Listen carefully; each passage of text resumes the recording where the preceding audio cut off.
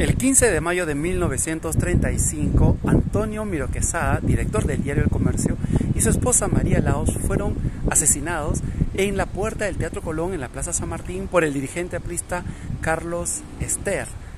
Ambos esposos están enterrados justamente en este bello mausoleo en el cementerio presbítero Matías Maestro. El contexto histórico y los detalles de este terrible suceso te los cuento a continuación.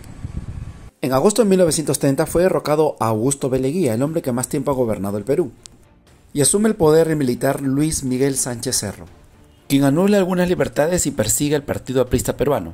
Se desató así una tormenta política muy violenta, siendo uno de los peores eventos la Revolución Aprista de Trujillo del 7 de julio de 1932. El gobierno de Sánchez Cerro envió tropas del ejército y unidades de aviación para bombardear Trujillo y hasta hubo fusilamientos masivos como el del sitio arqueológico de Chanchán en donde se habrían llegado a asesinar 5.000 personas. La violencia escalaría aún más y el mismo presidente Sánchez Cerro moriría asesinado por un aprista el 30 de abril de 1933.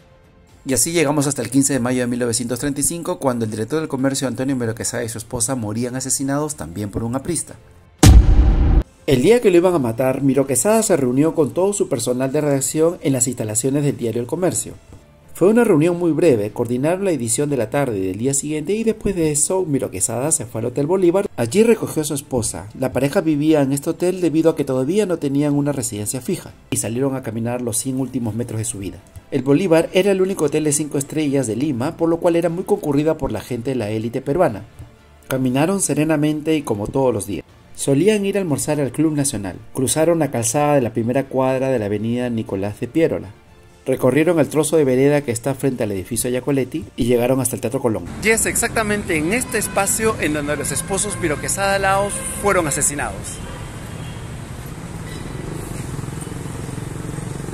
El aprista Carlos Ester se acercó por la espalda de la pareja y disparó cinco balazos contra Miro Quesada. La señora Laos intentó defenderse y el asesino le disparó dos veces. Debido a los ataques con bomba que había en la Lima ese entonces, se pusieron dos gendarmes para cuidar el cercano Club Nacional, quienes escuchar los balazos fueron corriendo detrás del criminal.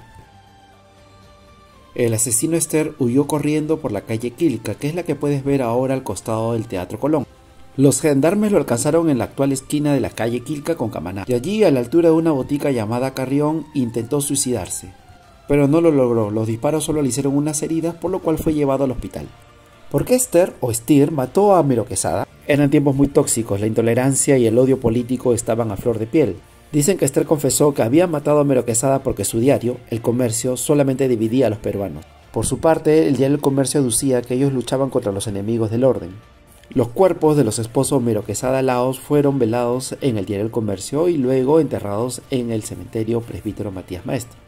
En el año de 1950 se puso en una de las puertas del Teatro Colón una placa que recordaría este terrible suceso. Y en la esquina de la avenida Emancipación con el jirón Rufino Torrico, frente a la iglesia de San Marcelo, se puso un monumento a Doña María Laos de Miro Quesada. Hoy esa plazuela está cerrada y luce abandonada.